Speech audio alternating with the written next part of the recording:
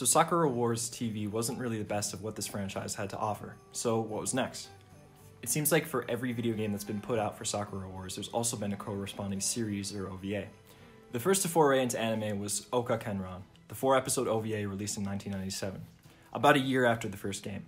It kind of amazed me because this is pretty much the perfect adaptation of Sakura Wars, in my opinion. So, what's the story here? The first episode starts with the formation of the Taikoku Kageki Dan. Yes!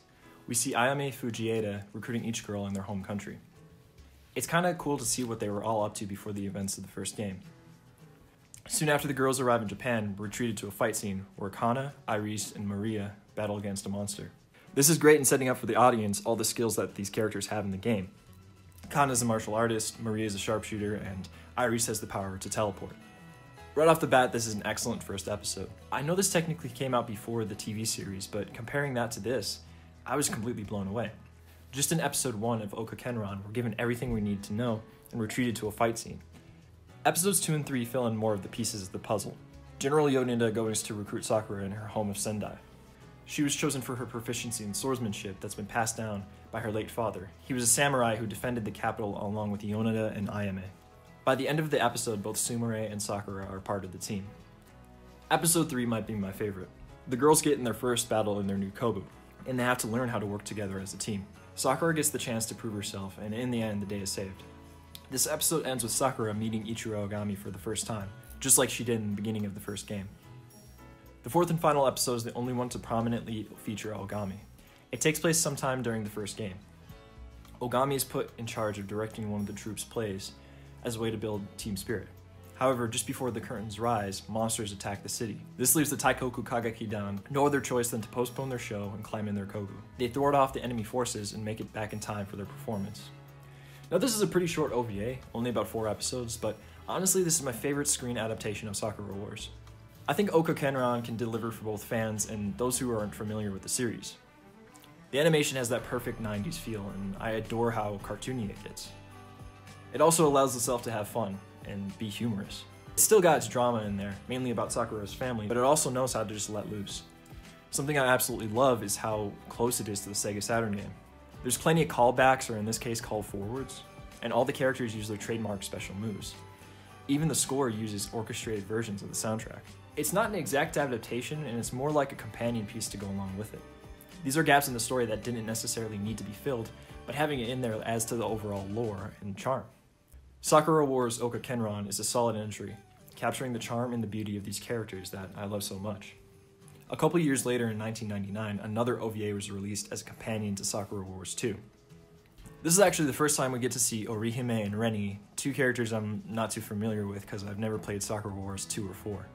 I just know her as the Italian chick and her as the German chick. Here we get to see Ogami packing up to go to France for what will lead to the events of Sakura Wars 3. As he goes through his belongings, he's reminded of the memories he's had with the Taikoku Kageki Dan. It's not as much of a narrative as Oka Kenran, and it's more like little side stories. Remember how I said Oka Kenran had a lot more fun and was a bit more silly? Yeah, this one is even more ridiculous. They definitely just wanted to have fun here. By episode 1, we see Sakura jump like 30 feet up in the air, and Maria shoots two bullets and makes them collide. Probably my favorite episode was episode 4. And this is also the most silly that this OVA gets. Here we see Koran going to model for a comic book based on a stage character she plays called the Red Lad.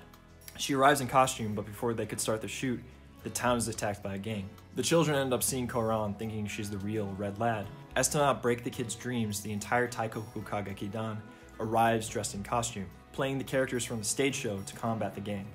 Yeah, it's ridiculous, but as I said, it knows how to have fun. Pretty much the whole OVA is like this. The last two episodes are a bit of a change. It's a lot more serious. Sakura goes back to Sendai to visit her cousin's wedding. Through a few misunderstandings, everyone is led to believe that Sakura is the one who's getting married and being forced into an arranged marriage. It leads to the whole troop planning a rescue mission to go and save her.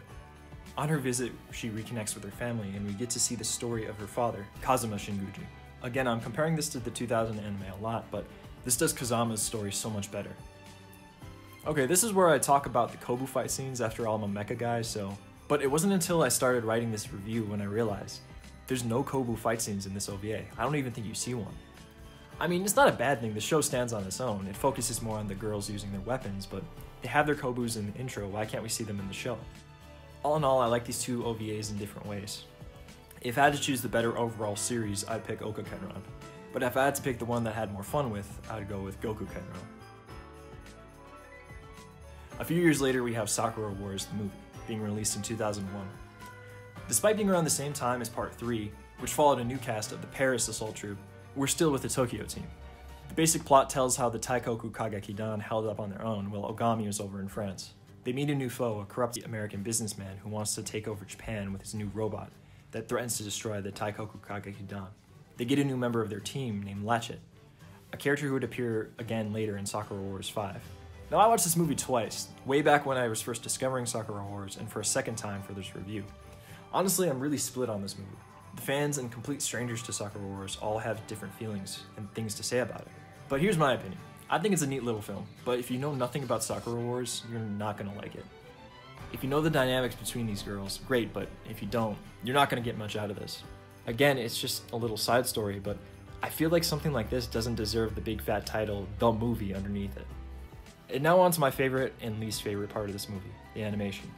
I was blown away by the opening of this movie. It sees the girls perform Miracle Bell, one of my favorite Sakura Wars songs.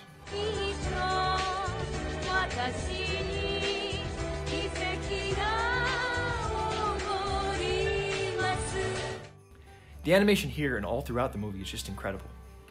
It's honestly wonderful to see all these beloved characters look this good.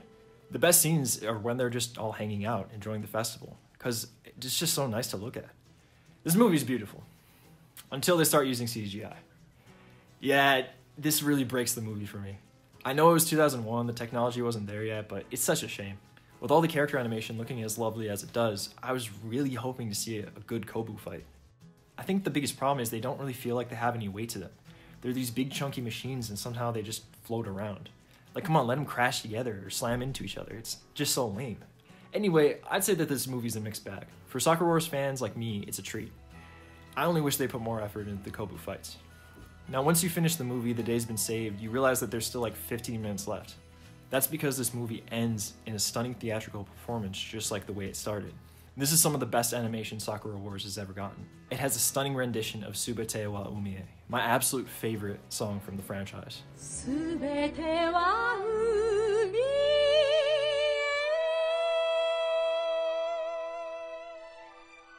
So this is going a little bit off script, and this is incredibly sad, but Ratchet's voice actress passed away right when I was in the middle of making this video. Her name was Akiko Kuno, and she was primarily a theater actress, and she didn't do any other voice acting roles, to my knowledge, outside of Sakura Wars. But I just want to take a moment to honor her a little bit because despite her role in Sakura Wars being somewhat smaller, she still gave an incredible performance in Sakura Wars, the movie, So Long My Love, and of course the stage show. Rest in peace, you will be missed. So that about does it for the OVAs in the movie. There are a couple more, so I guess I'll just gloss over them really quick. There's École de Paris and New York, New York, following a couple offshoot adventures from the Paris and New York assault troops. Again, these are just pure fan service. In case you didn't get your fill of these girls, now you got them here. Maybe I'd appreciate these a bit more if I actually played the games they were based on, but for now, uh, they're okay. You want to see the absolute worst Kobu fight scenes in the entire series? Yeah, look no further than here. These make the 2000 series look like fucking 8th MS team in comparison. I also don't know why New York, New York has such an obsession with feminizing Shinjiro. Yeah, forced cross dressing is a big part in this for some reason. All I'm saying is that Ogami would never let this shit happen. Alright, so to finish off this review, I want to take a moment to talk about the strangest yet one of my favorite aspects of Sakura Wars, and that is the live stage show. Okay, so check this out. Theater is a big part of Sakura Wars, as you can tell. So big that they made it a reality. When casting these roles, the directors made sure that the voice actresses were talented in not only voice work, but also in performance. Starting all the way since the first game, and even going on to this day, all the Sakura Wars cast come together and put on live performances dressed as their characters. Not only that, they also put on performances of the actual shows they played in the series, such as Journey to the West, Cinderella, and Kaijin Buso. So just to recap, these are voice actresses playing their characters from a video game, playing characters in a play. That's that's wild to me. This wasn't only just when the first game came out. Oh no. They did this for a long time. In fact, when I traveled to Japan on vacation in 2018, I found out that there was a show going on even then. These women are all amazing performers, and it's always been my dream to come to one of these shows. One thing I absolutely love about the live show is how much these actresses embody their characters. Like take a look at Mayumi Tanaka for instance, who plays Kanna Kirishima. She's a little old lady playing a big titty, 7 foot tall muscle chick. She's shorter than Iris and looks nothing like her character, but you could tell she's just having so much fun with this role. And also, I didn't expect that Luffy's voice actress was such an amazing singer.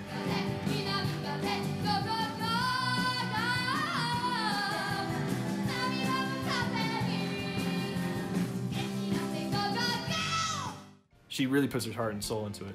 As an outsider, this kind of looks like somebody's auntie's in anime cosplay, but when I see Chise Yokoyama up there, yeah, I see Sakura Shinguji. The effort and spectacle of these live shows is really just amazing.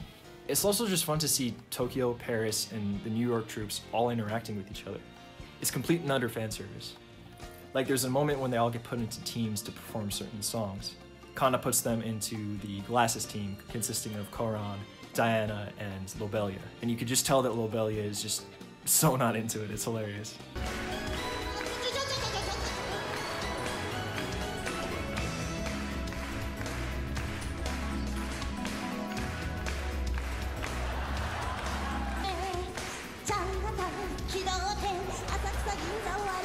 Of all the live shows they've ever put on, the crown jewel of them all has to be Sakura Wars Budokan 2. It's a three hour long show that includes every single actress from every single game at the time. It's just so much fun, and it's also one of the rare instances where we get to see the New York troupe interact with the rest. If there is a definition to love letter to the fans, I think Sakura Wars Budokan would be just that. I'm a huge fan of Sakura Wars, and this is made for me. Anyway, I think we can finally finish up Sakura Wars in just one more video, so stay tuned till next time. When I tell the story about how my dreams came true and we finally got a new Sakura Wars game here in America after more than 10 years.